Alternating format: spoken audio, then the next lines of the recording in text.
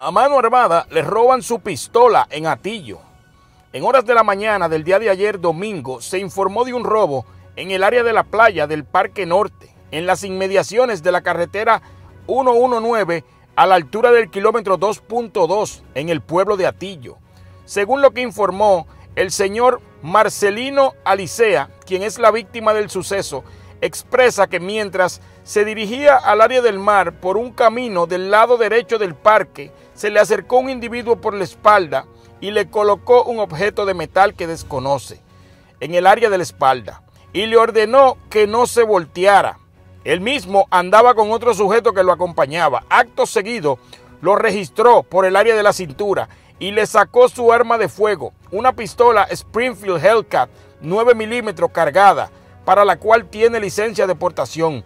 Así los individuos se marcharon del lugar sin ocasionarle daño corporal a la víctima. Este suceso lo investiga Brenda Pérez Colón del distrito de Atillo y continúa con la investigación el agente Adalberto Santiago de la División de Robo del área de Arecibo. Hombre de 54 años muere atropellado y el conductor se da la fuga se informó sobre la muerte de un peatón, cual murió tras ser arrollado en un suceso ocurrido el sábado en horas de la noche en la carretera número 3, kilómetro 151.6 en el municipio de Salinas.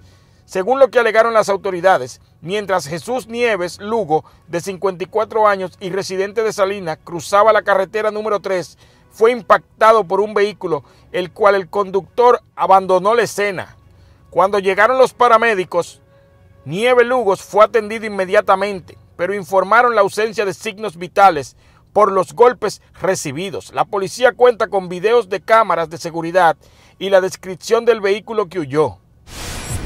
Arrestan a un hombre por violencia doméstica en contra de su pareja.